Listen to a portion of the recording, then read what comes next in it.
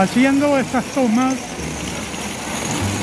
en el centro capitalino, específicamente en el portal occidental. Así se conoce este portal, por cierto. Su fama no depende del nombre, sino de la ubicación que está eh, frente al portal Adalia esquina opuesta al portal Adalia. Y bueno, en, en plena Plaza Libertad. Esto me hace recordar, les decía, mi infancia, cuando veía los portales allá de mi pueblo querido, Berlín, Alegría, cómo se llenaban en los meses de octubre, noviembre, diciembre, cuando llegaban las cortas de café. Así lucían los portales de gente que llegaba para las cortas de café y de algodón. Este es el famoso portal La Dalia. Ahí está, un club de billar, de dominó. Y bueno, tantos juegos de azar que han marcado la historia por largas décadas en el centro de San Salvador. Ahora lo vemos repleto de personas que todos los días llegan a la Plaza Libertad en el centro de San Salvador, en el centro histórico la Plaza Libertad con, con una gran historia donde se reunían los poderes de los diferentes gobiernos que ha tenido nuestro país. Porque acá está, voy a enfocarles, este es el portal Adalia, ya lo ven ustedes, pero en el fondo, aquella parte color naranja, y entre naranja y rosado, Ahí a raíz del terremoto de 1986 fue demolida una parte que quedó declarada inhabitable, pero ese era el edificio de la cafetalera. Ahí estaba el poder económico de El Salvador. Y a la derecha, no la alcanzo a enfocar desde acá, ahí ven el atrio de la iglesia del Rosario donde estaba centrado el poder eclesiástico de El Salvador. Y desde luego acá voy a tratar de moverme.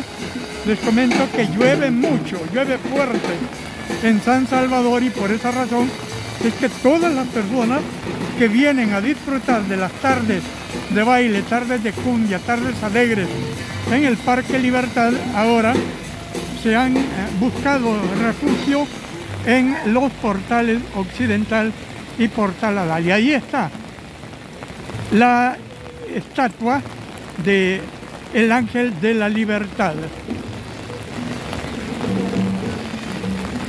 Así que este parque tiene una larga historia donde la iglesia, el capital y la política se, se centran en este histórico Parque Libertad. Entonces, ahí retomo las imágenes de las personas que se refugian en el portal de la Dalia, es uno solo, a pesar que el billar, el, el club, la Dalia es este, pero el portal se le conoce completamente a toda la parte que les estoy haciendo este paneo como portal La Dalia. Ya lo ven ustedes al fondo, donde se lee portal La Dalia. Pero es todo lo que les he enfocado y les he descrito está al costado norte del Parque Libertad en pleno centro capitalino. Aquí ya van a comenzar las bailarinas de, de nuevo. Están los combos haciendo pues el deleite de los visitantes en este domingo al Parque Libertad. Todo esto se los transmito para quienes ven esta página, este eh, canal de YouTube de su servidor. Mi nombre es Freddy Manzano, el canal está como El Viejo Manzano. Tengo como perfil también otro lugar icónico en la capital salvadoreña y es la iglesia de Don Rúa, la torre de la iglesia Don Rúa. Así es que ustedes cuando vean ese perfil ya saben que es de El Viejo Manzano. ¿Por qué busqué ese nombre, Viejo Manzano? Resulta que ya tengo varias décadas en mis espaldas y pues en todas las empresas, en todos los lugares, en diferentes, los diferentes estratos sociales donde me he desarrollado a lo largo de la vida, pues siempre me eh, conocieron cariñosamente como el viejo, incluso mis hijos, así me llaman, hola viejo, ¿qué tal? ¿Cómo estás?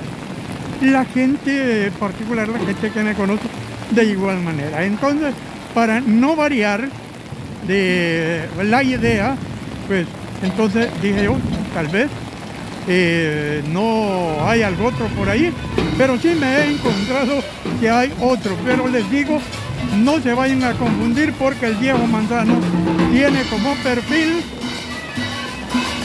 la torre de la iglesia de Don Rúa. Ahí tienen ustedes ya la fiesta de todos los días en el Parque Libertad. No puedo hacer un acercamiento porque está lloviendo fuerte. Aquí les demuestro.